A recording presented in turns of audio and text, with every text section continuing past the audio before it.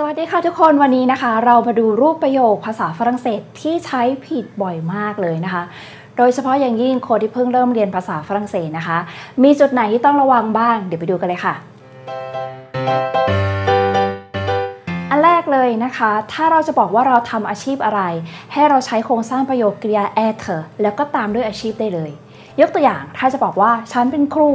เราก็จะพูดว่า je suis professeur je suis professeur เขาเป็นพนักงานเสิร์ฟ il est serveur il est serveur เราจะสังเกตว่าเราจะไม่ใช้ลักติกใดๆทั้งสิ้นนำหน้าคำบอกอาชีพ เราจะไม่พูดว่า je suis un professeur il est un serveur เราจะไม่ใช้แบบนี้นะคะ ให้ใช้กริยา être แล้วก็ตามด้วยคำบอกอาชีพได้เลย อันที่สองนะคะ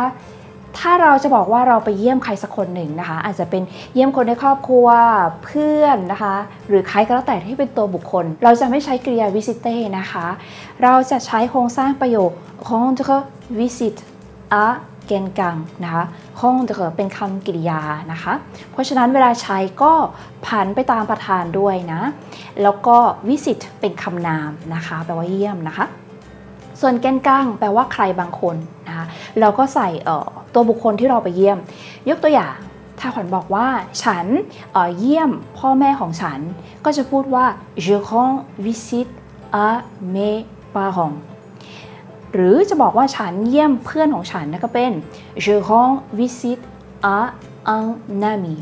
je rends visite à un ami นะคะ ส่วนกริยาวิสิเต้นะคะ เราจะใช้ในกรณีที่เราไปเยี่ยมชมสถานที่นะอย่างเช่น พิพิธภัณฑ์ เมืองนะคะ ยกตัวอย่างประโยค สมมุติเราบอกว่าฉันไปเยี่ยมชมพิพิธภัณฑ์ลูฟมานะคะ เราก็จะพูดว่า je visite le musée du Louvre je visite le musée du Louvre ต่อมานะคะ ถ้ามีใครสักคนหนึ่งถามเราว่าสบายดีไหม tu vas bien vous allez bien ça va comment ça va อะไรก็แล้วแต่เนาะแล้วเราจะตอบว่าฉันสบายดีนะคะ ให้เราพูดว่า je vais bien เราจะไม่พูดว่า je suis bien เราจะไม่ใช้กริยา être การที่บอกว่าเราสบายดีนะคะ เราจะใช้สำนวน aller bien นะคะบางทีนักเรียนแปลตรงตัวเลย aller เท่ากับไป bien เท่ากับดี aller bien ไปดี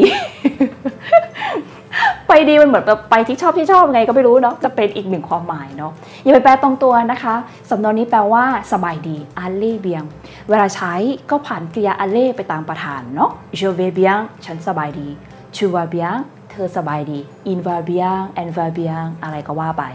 นะคะ เอาจริงๆเอ่อ je suis bien เนี่ยก็ไม่ได้ผิดตามหลักไวยากรณ์นะคะ แต่ถ้าเกิดจะตอบว่าสบายดีให้ใช้ je vais bien je suis bien เนี่ยเราจะใช้ในกรณีที่เราบอกว่าเรารู้สึกดีกับสถานที่ใดสถานที่หนึ่ง สมมุติเราไปพักผ่อนเนาะเข้าไปในโรงแรมหนึ่งนะคะ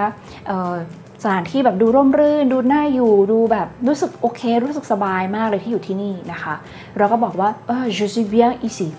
je suis bien ici รู้สึกโอเคกับที่นี่นะคะ ประมาณนี้เนาะต่อมานะคะเป็นเรื่องของการเขียนอักษรพิมพ์เล็กพิมพ์ใหญ่ของคำนี้ français français นะคะเท่าที่สังเกตเนี่ยบางคนก็ใช้สลับไปสลับมานะคะ อักษรพิมพ์ใหญ่ในภาษาฝรั่งเศส เราใช้คำว่า majuscule majuscule อักษรพิมพ์เล็ก minuscule minuscule ถ้าเราใช้ฟองเซ่คำนี้นะคะ ซึ่งขึ้นต้นด้วยอักษรพิมพ์ใหญ่ เราจะใช้ในกรณีที่เราจะพูดถึงประชากรคนฝรั่งเศสนะคะ อย่างยกตัวอย่างเช่น les Français vivent en France les Français vivent en France นะคนฝรั่งเศสใช้ชีวิตอยู่ที่ฝรั่งเศสนะคะ แต่กรณีที่เราจะพูดถึงภาษาฝรั่งเศส สัญชาติฝรั่งเศสนะคะ หรือเอามาใช้ในการเป็น adjective ที่ ขยายคำนามนะคะ เราจะใช้อักษรพิมพ์เล็กแบบนี้เลยนะคะ ยกตัวอย่างประโยค j'apprends le français j'apprends le français ฉันเรียนภาษาฝรั่งเศส le fromage français le fromage français นะเนยแข็งฝรั่งเศสนะคะ อันนี้คือใช้เป็น adjective เนาะ หรือเป็นสัญชาตินะคะ il est français นะ เป็นผู้หญิงก็เป็น elle est française สังเกตไหมคะว่าจะ ขึ้นต้นด้วยอักษรพิมพ์เล็กนะคะ ซึ่งใช้หลักการเดียวกันเลยนะคะ อาจจะเป็นสมมติเราจะพูดถึงภาษาอิตาเลียน ภาษาสเปนหรืออะไรก็แล้วแต่ อันนี้ก็ใช้พิมพ์เล็กเหมือนกัน ถ้าพูดถึงคนอิตาเลียนนี่ก็ขึ้นต้นด้วยพิมพ์ใหญ่นะคะ ใช้หลักการเดียวกันเนาะ แต่ว่าควันยกตัวอย่างเป็นฝรั่งเศสเพราะว่าเห็นหลาย ๆ คนใช้ผิดบ่อยนะคะ ต่อมานะคะ ถ้าเราจะบอกว่าออขอถามคำถามหน่อยนะคะ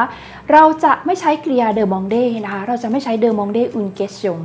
แต่เราจะใช้ poser une question ยกตัวอย่าง Excusez-moi, je peux poser une question Excusez-moi, je peux poser une question โทษทีนะฉันขอถามคำถามหน่อยได้ไหมนะคะ ถ้าเราใช้กริยาเดอมองเดนะคะ ก็คือเดอมองเดเกนกระชดเนาะ จะใช้ในการที่เราเออขอบางสิ่งบางอย่าง อาจจะเป็นขอข้อมูล ขอสิ่งนั้นขอสิ่งนี้นะคะ แต่ถ้าเกิดเป็นการขอถามคำถามหรือการตั้งคำถามนะคะ เราจะใช้ pose une question เนาะต่อมานะคะเป็นการใช้ verb pronominal กับส่วนต่างๆของร่างกายนะคะ สมมุติว่าเราทำสิ่งนั้นสิ่งนี้นะคะกับแขนขานะคะ หรืออะไรก็แล้วแต่อย่างเช่นขวัญบอกว่า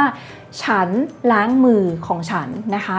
เราจะใช้รูปประโยคแบบนี้นะคะ je me lave les mains je me lave les mains สังเกตไหมคะว่าตรงนี้ขวัญใช้ลักติกdéfini นะคะ l'article défini ก็คือ le la les นั่นเองนะคะ ตรงนี้ใช้ les เพราะว่า mains เป็นรูปพหูพจน์เนาะตรงนี้นะคะเราจะไม่ใช้คำแสดงความเป็นเจ้าของนะคะ ขวัญจะไม่พูดว่า je me lave mes mains je me lave mes mains ประโยคนี้ผิดนะคะ เหตุผลเพราะว่า je me นะคะ ตรงนี้มันบอกอยู่แล้วว่าเราเนี่ยกระทำบางสิ่งบางอย่างกับตัวเอง คือมันบอกไปแล้วนะคะ เราไม่ต้องบอกซ้ำซ้อนว่า je me lave mes mains ไม่ต้องบอกซ้ำไปซ้ำมาอีกนะคะ เพราะฉะนั้นให้เราใช้ l'article défini นำหน้าอวัยวะต่างๆ ของร่างกายเราได้เลยนะคะ ในกรณีที่ใช้กับ verbe pronominal นะคะ อย่างตรงนี้ก็เป็น je me lave les mains แบบนี้นะคะ และอันสุดท้ายนะคะ ถ้าเราจะบอกว่าเพื่อนของฉันที่เป็นผู้หญิง เราใช้คำนี้นะคะมงนามีมงนามีหลายคนนะคะอาจที่เพิ่งเริ่มเรียนเนาะอาจจะสงสัยเอ๊ะปกติแล้วนะคะ ถ้าคำแสดงความเป็นเจ้าของ ถ้าคำนามนั้นเป็นเพศหญิงเนาะมันควรจะเป็นมาใช่ไหมมาอามี่นะคะ หรือถ้าเป็น อื่นๆ ของเธอก็เป็นตานะคะ ของเขาก็เป็นซาใช่ไหมนะคะมันมีกฎข้อยกเว้นนะคะตรงนี้ที่มีหลายคนผิดบ่อยมากๆเลยก็คือ ถ้าคำนามนั้นนะคะ แม้ว่าจะเป็นเพศหญิงก็ตามเนาะถ้าเกิดเขาขึ้นต้นด้วยสระหรือ arch m u e จากมาตาซานะคะ จะเปลี่ยนเป็นมงตรงสง นะคะระมัดระวังนะ เพราะฉะนั้นตรงนี้ใช้มงแนมีอันจริงเป็นเรื่องของการเชื่อมเสียงเนาะมันจะได้ง่ายต่อการเชื่อมเสียง เพราะเวลาสระมาอามี่สระมันชนสระเนี่ยมันอ่านออกเสียงมันออกเสียงยาก อย่างที่บอกภาษาฝรั่งเศสพยายามเปลี่ยนกฎทุกเสียงทุกอย่างนะคะเพื่อให้ง่ายต่อการออกเสียงนั่นเองนะคะ ก็ระมัดระวังเนาะโอเคนะคะ หวังว่าจะเป็นประโยชน์กับเพื่อนๆนะคะ ถ้าใครชื่นชอบคลิปนี้ฝากกดไลค์กดแชร์ แล้วก็อย่าลืมกดติดตามเป็นกำลังใจให้กันด้วยนะคะ แล้วเจอกันคลิปหน้าค่ะสวัสดี